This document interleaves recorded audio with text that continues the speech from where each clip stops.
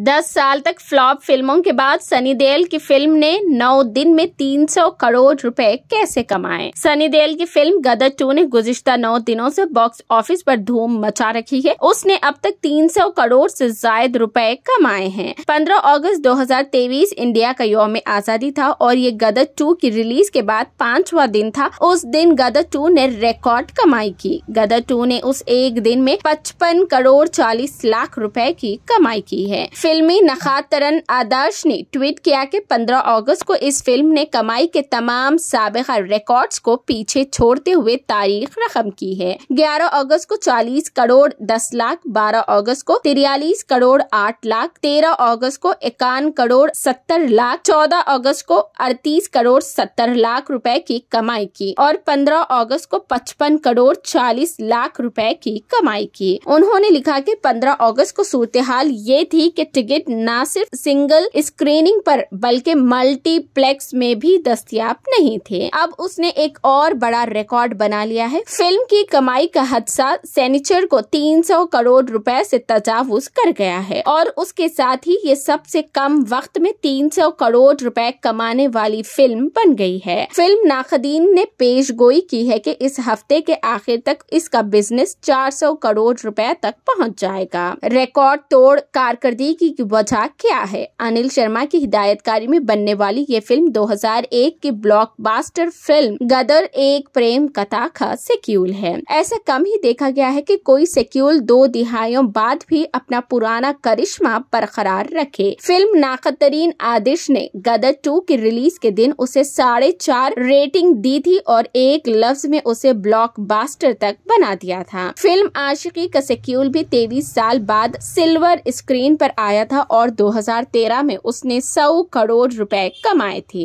गदर to की film साजों की तरफ़ से जारी करदा प्रेस रिलीज़ में दावा किया गया है कि पंजाब जैसे सूबे में किसी भी हिंदी फ़िल्म के लिए इस फ़िल्म का कलेक्शन रिकॉर्ड सतह पर पहुँच गया है। खातून फ़िल्म नखाद भारती दोबे बीबीसी के मधुपाल को सनी देल की गदर टू की कामयाबी की एक बड़ी वजह कौम परस्ती बताती है। वो कहती है की हम जिस दौर में रह रहे हैं, वो कौम परस्ती का है। सनी ने भी इस फ़िल्म की ज़बरदस्त तशहर की है। योम आज़ादी से एन कबल रिलीज़ होना, उसके हिट होने की एक बड़ी वजह है। फ़िल्म कौम परस्ती को भड़काती है। फ़िल्म की टाइमिंग और उसके गाने बेहतरीन हैं। वो कहती है कि सनी ने वापसी की है। सनी देल की उम्र छसठ साल है। वो एक सीनियर सिटीजन है और ये कहा जा सकता है की उन्होंने बड़ी वापसी की है। दूसरी जाने फिल्मी नकाद गरीश वांगखेड़े ने कहा कि 15 अगस्त के दिन लोगों में हुब्बुल वतनी के जज्बात भरे हुए हैं। इस फ़िल्म में वालिदैन और पाकिस्तान वो तमाम मसाले हैं जो कि एक हिट फार्मूला भी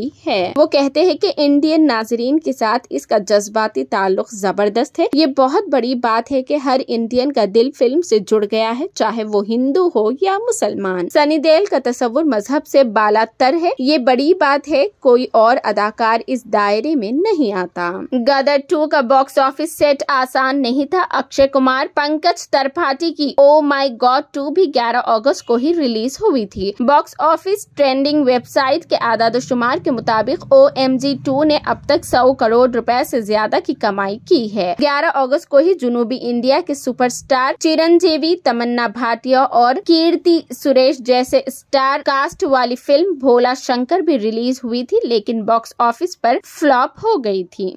दूसरी जानब सुपरस्टार रजनीकांत की फ़िल्म जेलर भी उसी दिन रिलीज़ हुई और मुसलसिल नए रिकॉर्ड्स बना दी। जेलर ने कमाई के मामले में 250 करोड़ रुपए का हादसा अबूर कर लिया है। अगर हम जेलर की बैरून मुल्क कमाई को शामिल करें तो ये एक बड़ी ब्लॉकबस्टर साबित हो रही है। दुनिया भर में जेलर की कमाई 450 करोड़ के करीब पहुँच गई है। दुनिया भर में कमाई के मामले में जेलर ने गदर टू को भी पीछे छोड़ दिया है। गदर टू की बैरून मुल्क मजमुई कमाई अब तक पैंतीस करोड़ रुपए के करीब है। फ़िल्म नाकदीन के मुताबिक इसकी मरकजी सामाइन शुमाली इंडिया के नाजरीन है और ये अमर उसकी कम बैरून मुल्क कमाई में भी नज़र आता है। फिल्मी नखात का कहना है की ओ माई गॉड जैसी फ़िल्म के साथ रिलीज़ हुई ओपन हाइमर बारबी ने बॉक्स ऑफ़िस पर पहले ही धूम मचा रखी थी। रॉकी और रानी की मोहब्बत की कहानी अब भी अच्छी चल रही है। इसलिए इसके रिलीज़ का वक्त बहुत अच्छा था। कर्नल को फ़िल्म में दिखाया गया है। फिर वंदे मातरम की धुन आती है। बिग राउंड म्यूज़िक है। उसमें जज्बाती जज्बाती अंसर है, बाप बेटे के दरमियान मोहब्बत है, कुछ पाकिस्तान मुखालिफ जज्बात भी है। सनी देल माजी में भी ब्लॉकबस्टर देते रहे हैं, लेकिन ये पहली बार नहीं है कि सनी देल की फ़िल्म के साथ साथ एक और बड़ी फ़िल्म भी रिलीज़ हुई है। आमिर खान की लगान भी उसी दिन रिलीज़ हुई थी, जब गदर एक प्रेम कथा स्क्रीन पर आई थी। 15 जून 2001 को रिलीज़ होने वाली दोनों फ़िल्में कौम परस्ती पर मबनी थी।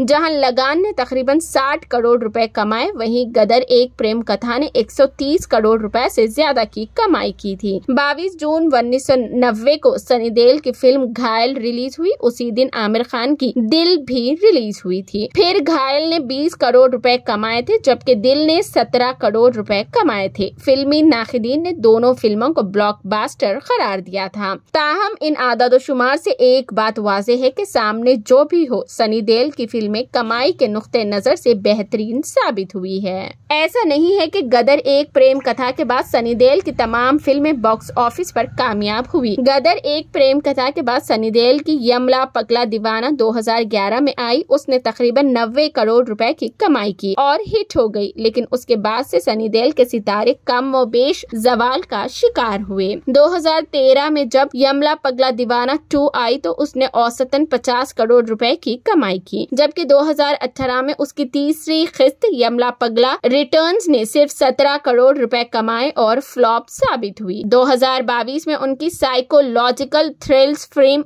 रिपीट 2022 में उनकी साइकोलॉजिकल थ्रिल्स फ़िल्म जो उन्नीस करोड़ की कमाई के साथ फ्लॉप साबित हुई, जबकि 2019 में फ़िल्म ब्लैंक ने सिर्फ़ आठ करोड़ रुपए कमाए। फ़िल्म नखाद फ़िल्म नखाद का कहना है कि गदर टू पठान और आदि पुरुष के बाद सौ करोड़ रुपए का हादसा अबूर करने वाली तीसरी तेज तरीन फ़िल्म बन गई है। वो कहते हैं ये फ़िल्म बहुत अच्छी भी नहीं है, उसके रेवेन्यूज मुनासिब से है। ये 15 अगस्त से पहले रिलीज़ हुई थी, इसलिए कौम परस्ती के एहसास ने काम किया है। सनी देल की कबूलियत, उनकी आजिजी, उनके लिए लोगों की मोहब्बत, इस फ़िल्म की कामयाबी की बहुत सी वजूहत में शुमार किए जा सकते हैं।